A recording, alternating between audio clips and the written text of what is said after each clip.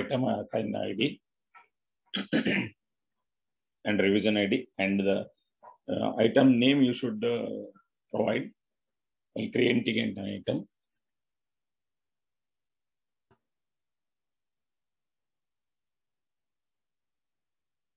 So here you can see the item already created and the, the second one is the master form and the revision master. This is the master form and here is the second one is the item revision and here is the revision master form.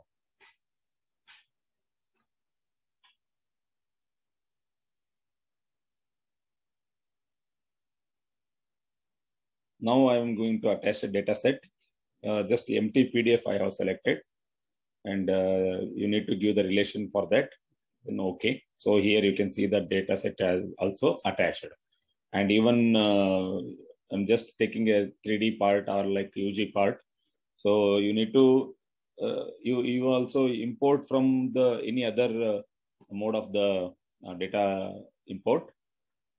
So and upload the uh, file so that can be accessed and attached to the Teamcenter.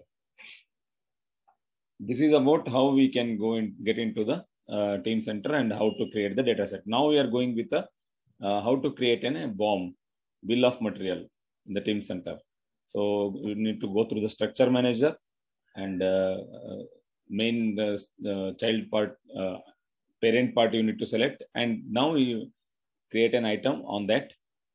So now I am taking a car part. In the car part, again, I will give the one uh, any uh, part like engine engine parts i'm taking here i created the uh, child part of engine parts. Now again i am selecting engine parts and uh, associate child parts i'm going to assign. Just assign the id and revision id and now in the engine i'm attaching the piston. So now it is a subchild it is. Car part is the main parent, engine part is the sub, and the piston is the subchild.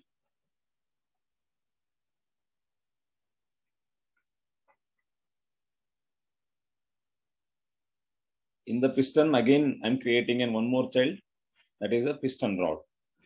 So you can write uh, any description for that every item when you are going to create. So here I'm just giving the description on the sub child part of the engine part.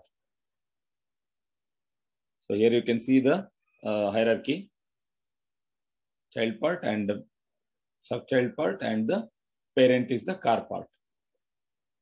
Now again one more uh, child I'm going to create. That is the child part. That is a uh, just body parts.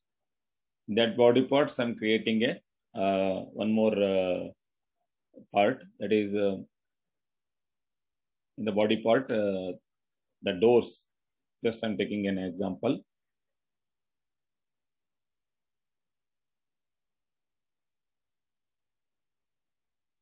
then you can continue on the uh, doors left right like that you can create go on that so just i'm for example i'm created a bill of material on the uh, selected item so this is a bill of material which we can create on the structure manager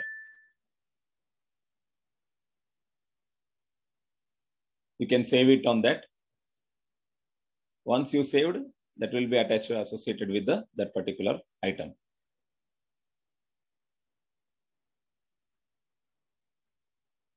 So you can see BOM view revision. So through that, you can get into the uh,